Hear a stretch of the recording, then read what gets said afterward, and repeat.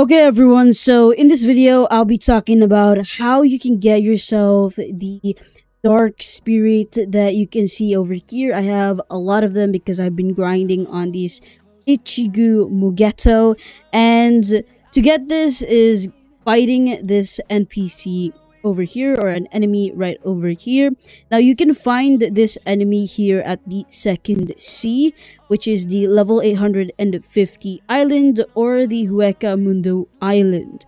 So now that you got here, you fight with this enemy here. This guy drops the dark spirit for 10% chance. So you literally have 10% chance of getting yourself that item to, you know, to use it you need the dark spirit. Now, for those who are not sure on what the dark spirit does, I'm just gonna outright tell you.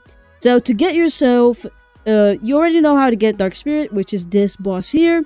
Now, what you can do with the dark spirit is to use it to awaken a certain weapon, and that is going to be the Mugetsu sword right here. So the first thing that you need to do is to get yourself the Mugetsu sword, which you can also get from this boss here. And then after that, start grinding for some dark spirits, which you would need in total 10 of them to be able to awaken one singular move from the Mugetsu sword. That is pretty much it.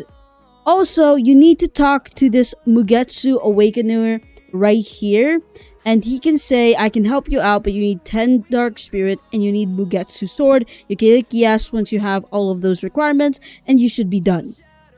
So that is pretty much just to awaken a certain sword.